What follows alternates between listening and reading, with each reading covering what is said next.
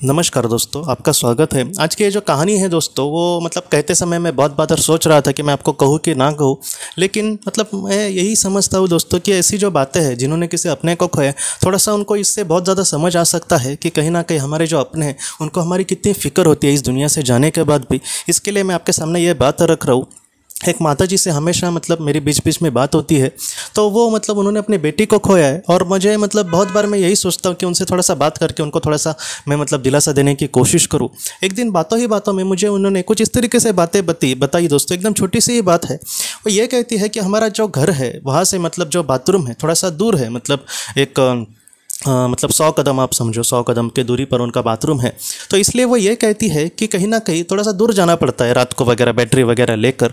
और उसका जो एरिया है दोस्तों, वो थोड़ा सा जंगल जैसा है तो कोई जानवर वगैरह मतलब सांप वगैरह भी वैसे, या फिर और भी जो मतलब ज़मीन के मतलब कुछ कभी कभी कुछ कीटक वगैरह होते हैं, वो काटने का डर होता है। तो वो ये कहती है कि इस तरीके से उसने मतलब उसको इतना कुछ नहीं लगता था। लेकिन वो ये कहती है कि कहीं ना कहीं वो अपने बेटी के साथ जब रहती थी, तब वहाँ पर अच्छे से रहती थी। लेकिन कहीं ना कहीं बेटी के जाने के बाद वो एकदम दिल से टूट गई थी, वो कैसे ही मतलब वहाँ पर कभी कभी मतलब रात को वगैरह जाती थी, अगर उसको बाथरूम जाना है वगैरह तो इस तरीके से उसकी मतलब चीज़ें चल रही थी। और कहीं ना कहीं वो मतलब अपना जीवन का उसने सब कुछ छोड़ ही दिया था कि मतलब अब मुझे जीना ही नहीं है वगैरह ऐसे। और उसके बाद दोस्तों इस मतलब जो माता जी है, उसके जो भाई है उनको थोड़ा सा डर लगने लगा, वो थोड़ा सा उनसे दूर रहते थे। तो उन्होंने ये कहा कि हम, तुम, तुम्हारे घर में ही अटैच ऐसे कुछ बाथरूम वगैरह बनाते हैं, क्योंकि मुझे सच में डर लगता है, तुम रात को वहाँ पर जाती हो। और जब से इनकी मतलब बहुत दिन वो उसके भाई के पास रही थी, लेकिन बाद में वो अपने घर पर आ गई थी और बाद में उसको कहीं पर भी जाने की इच्छा नहीं थी। इसलिए उसके भाई ने कहा कि तुम मतलब अटैच हम बना देते हैं। और उसके बाद दोस्तों, उसने मतलब घर में अटैच ऐसे बाथरूम बनाया। और ये जो बात है दोस्तों, जब उसने अटैच बाथरूम बनाया, तब वो माता जी ये कहती है कि उसी रात उसकी जो बेटी थी उसको सपने में आ गई। और सपने में आकर वो कहीं ना कहीं हंस रही थी, वो कहीं ना कहीं खुश लग रही थी। वो ये कहती है कि कहीं ना कहीं उसकी जो मतलब बेटी थी, उसको भी अपनी माँ की बहुत ही ज़्यादा फ़िक्र लग रही थी कि वो रात को ऐसे वहाँ पर जाकर कुछ गिर ना जाए, कुछ ऐसा मतलब बुरा ना हो जाए उसके साथ।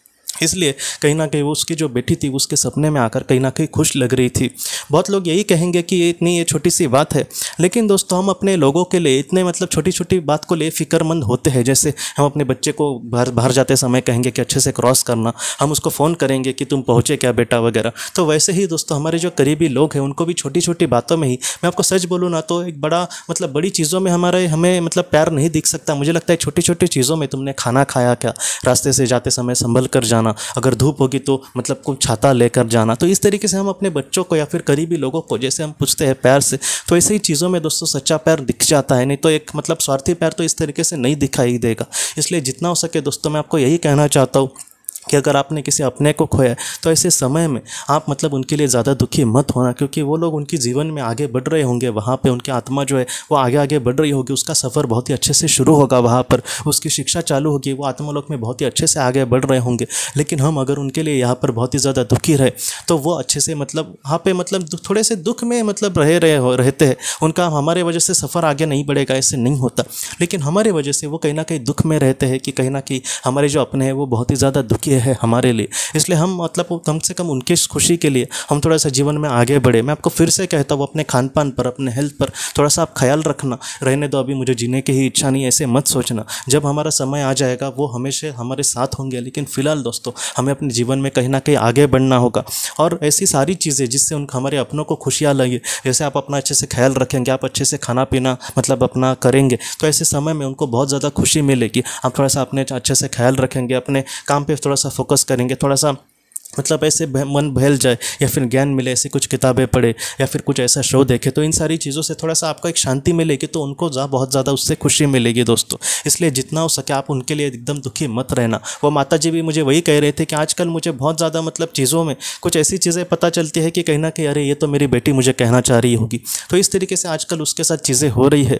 और हाल ही में वो कह रही थी कि मैं मतलब ध्यान भी मैंने चालू किया है, उससे और भी चीज़ें मुझे पता चल रही है। तो अगर आपने भी किसी अपने को खोया है और उनके लिए आप अगर दुखी है तो ऐसे वक्त में थोड़ा सा आप ध्यान भी करने की कोशिश कर सकते हैं। इन सारी चीज़ों से दोस्तों, उनके जो मैसेजेस है, वो बहुत ही अच्छे से हम और भी अच्छे से समझ पाएँगे। तो इतना आप अपनों के लिए ज़रूर करना दोस्तों। ऐसी जो बातें जो छोटी छोटी है, लेकिन हम सबके लिए बहुत बड़े मैसेज देती है कि हमारे जो अपने वो किस तरीके से हमारे साथ अटैच होते हैं, हमारे जो अपने हैं, वो किस तरीके से हमें कुछ दिखाना चाह रहे ऐसी जो बातें हैं दोस्तों, मैं हमेशा आपके सामने रखने की इसलिए कोशिश करूँगा कि कहीं ना कहीं आप समझ जाए कि आपके जो अपने हैं, कहीं ना कहीं हमेशा आपके साथ है। हो सकता है कि आपके आँखों से वो आपको दिखाई ना दे, लेकिन कहीं ना कहीं उसको दिल से देखने की कोशिश करें या फिर अगर आप रेगुलरली ध्यान करेंगे तो आपको ऐसे ज़रूर चमत्कार दिख जाएँगे कि जहाँ पर आपके उनके जो बहुत ही महत्वपूर्ण संदेश है वो बहुत ही अच्छे से आप ग्रहण कर पाएँगे दोस्तों।